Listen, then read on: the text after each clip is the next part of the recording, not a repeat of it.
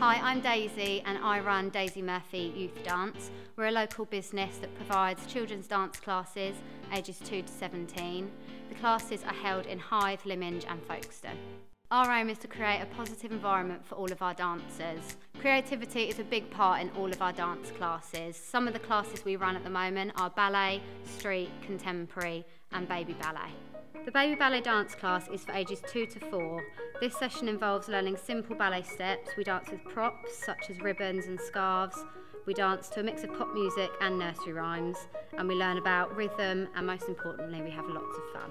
Street dance is a great opportunity to improve rhythm, dynamics, and confidence. In this class, your child will learn street dance routines and simple tricks.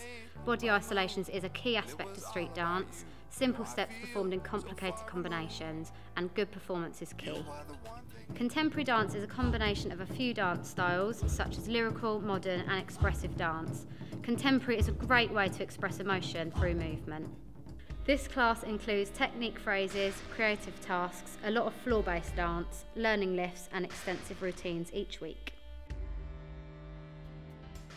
Dance is a great way for children to socialise, gain confidence, exercise and have fun. If you're interested in your child starting a class at DMYD, please get in touch or feel free to drop into one of our sessions. Wow, my daughter is two and a half and she absolutely loves it. Every morning she wakes up and asks, is it time for ballet? Really enjoy ballet, don't you, Isla? Uh, we're very lucky to have Daisy, um, so local to us. She links in really well with the school and the local community.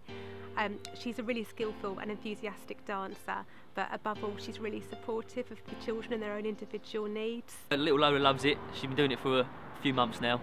Um, she comes and has a lot of fun. You know, she's Daisy's good at it as well with Brody, um, and she uh, has a lot of fun. Lola does, so it's, it's good. It's good.